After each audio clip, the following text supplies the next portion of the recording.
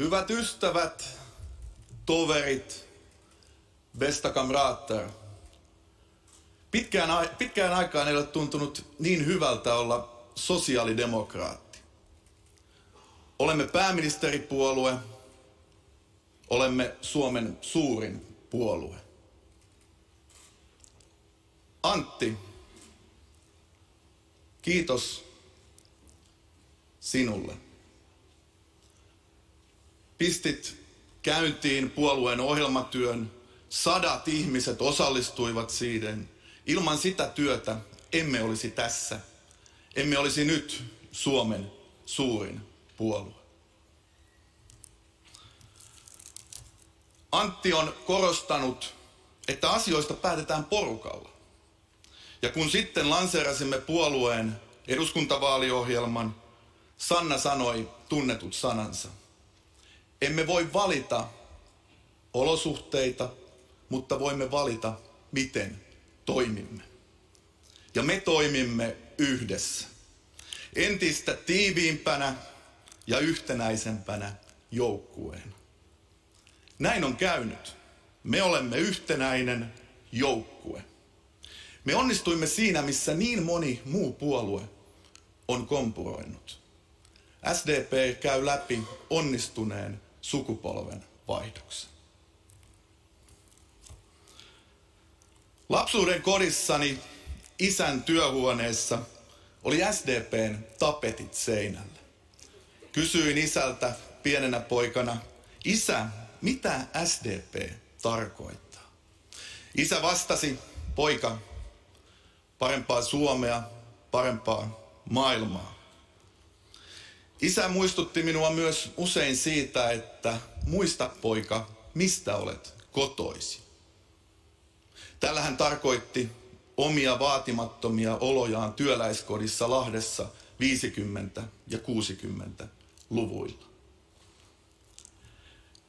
Minä muistan. Minä muistan, mistä olen kotoisin. Minä haluan rakentaa yhdessä teidän kanssanne parempaa Suomea, parempaa maailmaa. Siksi haluan jatkaa tässä porukassa, puoluejohdossa.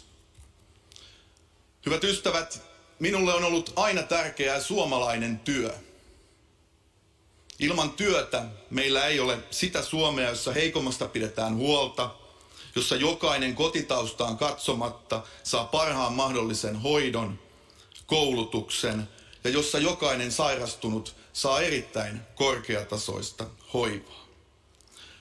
Onko meillä työtä myös tulevaisuudessa? Olemme nyt historian käännekohdassa. Tulee vielä se päivä, kun olemme voittaneet koronan. Nyt meidän tuleekin kysyä itseltämme, kummalla puolella historiaa me haluamme olla. Uudella vai vanhalla? Me haluamme olla historian uudella puolella ja rakentaa uutta kestävän kasvun maailmaa. Meidän tehtävänämme on pitää huolta siitä, että tässä maassa on työtä ja turvallisuutta myös tulevaisuudessa. Hyvät ystävät, meillä on osaamista, teknologioita ja tahtoa tuoda kestäviä ja kaikille oikeudenmukaisia ratkaisuja ja luoda samalla suomalaista työtä. Vihreä kasvu ratkaisee samalla koko maailman ilmastohaasteita. Meille se merkitsee lopulta kasvavia vientituloja, jolla hyvinvointivaltiomme rahoitetaan. Urho Kekkonen totesi, että Suomi ei ole maailmanpolitiikan tuomari, vaan lääkäri. Huomisen Suomi on myös maailmanpolitiikan insinööri, luokanopettaja ja sairaanhoitaja. Jotta onnistumme, tarvitaan ennakkoluulotonta yhteistyötä, jossa kaikki kunnat, yritykset, korkeakoulut ja kaikki toimijat puhaltavat yhteen hiileen. Näin me nostamme Suomen nekin alueet lentämään, joiden käyrät nyt sojoittavat alaspäin. Bästa kamrater, i framtiden kommer vi att lyckas bara genom samarbete. Samarbete med kommuner, företag, högskolor och alla andra aktörer. Vi har bara ett Finland, ett enhetligt Finland. On äärimmäisen tärkeää, että huomisen Suomea ja sen rakentamista johtaa SDP.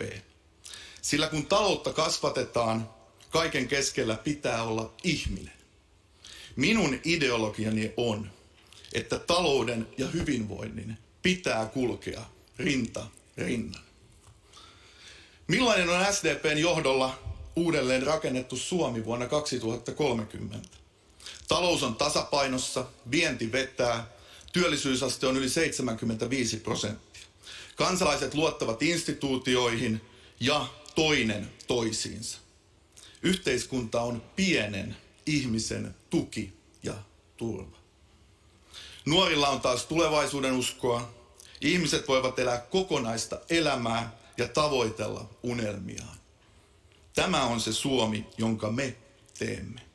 Me olemme huomisen Suomen rakentajia. Huomisen Suomen, joka on vakaa, vauras ja oikeudenmukainen. Hyvä maa elää meille ja lapsillemme, meille kaikille. Kiitos paljon. Tack. Kiitos. Kiitos Ville.